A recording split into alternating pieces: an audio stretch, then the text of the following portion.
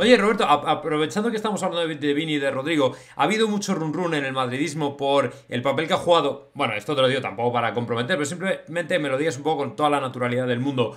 El chiringuito, el papel que ha jugado un poco en cortar, recortar imágenes de dimes y diretes y tal y cual. Tú que conoces bien el chiringuito desde dentro y, conoces a la gente que está por allí, ¿tú crees que, ellos, a ver, no digo que tengan una fijación con determinadas cosas, pero que tú lo ves, el hecho de que corten o recorten o dejen de cortar, como, bueno, pues parte un poco del espectáculo, parte de lo que es el programa, parte de su sello personal, o realmente una, una campaña intencionada contra un jugador X, no vamos a llamar Rodrigo ni Vinicius, pero X. ¿Tú eso crees que existe dentro del periodismo que se hace deportivo de hoy y concretamente del chiringuito?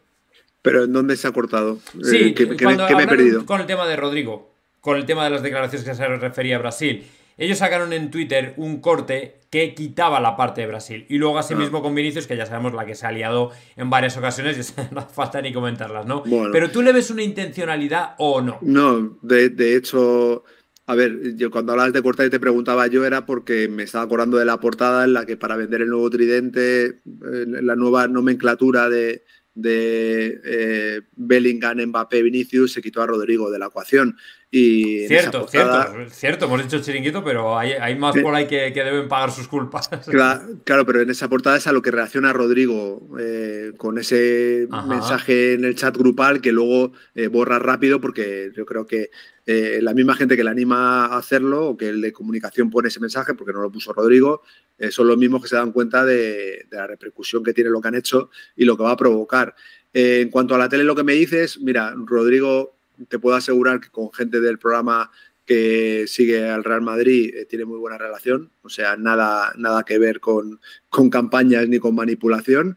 Eh, y me parece un programa muy plural en el que cada uno vamos y nadie nos dice lo que tenemos que decir. O sea, vas a escuchar a alguien eh, matar a Vinicius porque eh, va en su forma de pensar y no le gusta lo que hace en el campo y demás, y vas a escucharnos a otros pues defender lo que, lo que haga destacando lo deportivo si es que creemos que hay que hacerlo. Entonces no veo ese tipo de, de, campañas organizadas previas. Bueno, no es que no las veas, que, que te aseguro que no, las hay. Porque he estado en, reunión, en alguna reunión previa a un programa con, con, contenidos mucho más delicados y nunca ha habido ninguna consigna ni nada a nadie de lo que vaya a decir. Hay libertad absoluta y y el tema se saca sobre la mesa, los mismos temas que puedes sacar tú con mucha más gente hablando, que lógicamente llega la, lleva a la confrontación y a las diferentes formas de pensar de un futbolista y de una situación que protagoniza el futbolista.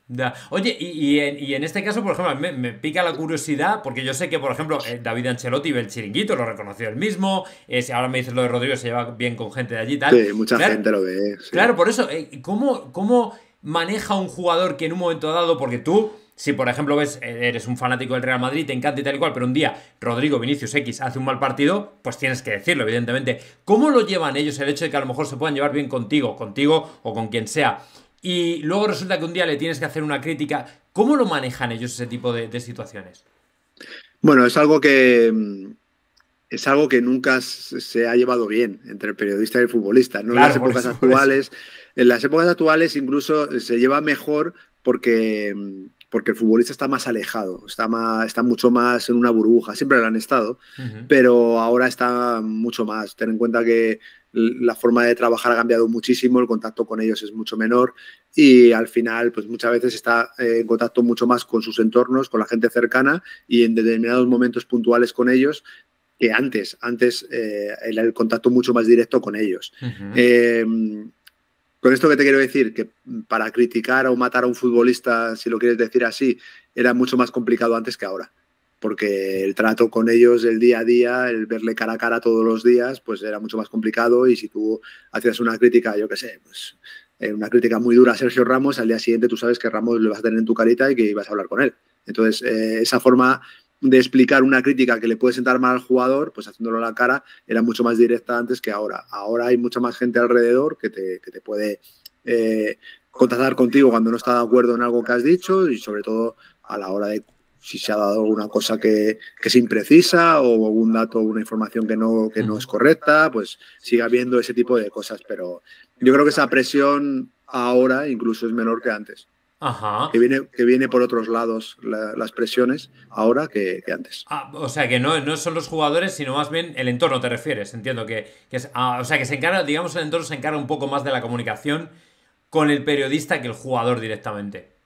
Eso es. Ya, ya, ya. Luego, luego, luego, sigue habiendo, por supuesto, somos, hay relaciones humanas de gente que trabaja en el mismo entorno, con los que coincides mucho y con los que generas una relación, por supuesto. Y, y tiene que ser sano, hasta el punto de que Claro, es lo que dices, eh, se ha polarizado tanto que muchas veces, pues gente que veis en platos o en programas y demás, por la, la, amistad que tienen, lógicamente no van a decir nada crítico excesivo hacia ese futbolista. Hay una crítica que hay un límite que no se puede traspasar, ¿no? Pero si hace un mal partido, no creo que se enfade el jugador porque tú salgas y digas que ha hecho un mal partido, porque el primero que sabe que ha hecho un mal partido es él. Otra cosa es que tú hagas una crítica eh, muy fuerte o desmedida, o hay una ola de una campaña, como decías antes, en contra de un futbolista y te subas a esa ola y, lo mates por cosas que no, que no se deben. Pero vamos no, no es el caso. Hay que manejarlo con, con, tiento. Oye, otra cosa, ya cambiamos totalmente el tercio. Eh, algo que ha ocurrido en este tiempo que, no has venido al programa es el tema de Tebas, la Superliga. Eh, bueno, bueno, el tema es el, acuerdo con China, famoso, que estuvisteis comentando el otro día en COPE, que si será en abierto, que si no será en abierto. Pero el punto al que yo me voy a referir es al que nos interesa el Madrid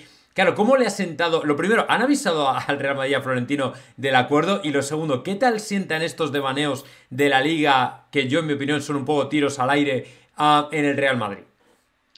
Bueno, tienes que tener en cuenta una cosa, que muchas veces que se venden ciertas cosas que luego escarbas un poco y ves que ya existían. Bueno, que al final el, que se vea el fútbol en China en abierto es algo que ya existía. O sea, si escuchas el programa es cuando le hacía yo la duda, ¿no? La sospecha de si no se veían abierto, ¿para qué nos justificaban los horarios de jugar a las 2 de la tarde? exacto, que decían, que, decían que, eran por, era por jugar allí en, Asia, ¿no? Para que tuviese pegada.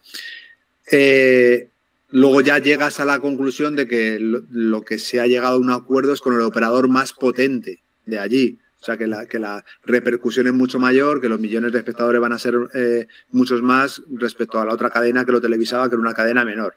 Quiere decir, ¿acuerdo nuevo? Bueno, si se quiere vender como un acuerdo nuevo para potenciar la imagen de la liga, pues quien quiera hacerlo que lo haga. De cara al Real Madrid, en China se veía y se va a seguir viendo. O sea, no, no va a cambiar nada este acuerdo que pueda enfadar al Real Madrid decir qué está pasando. No. Ya,